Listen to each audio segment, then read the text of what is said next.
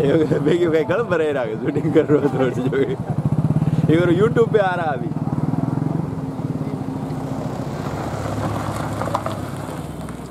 वो तो रात में जाएगा क्या? पानी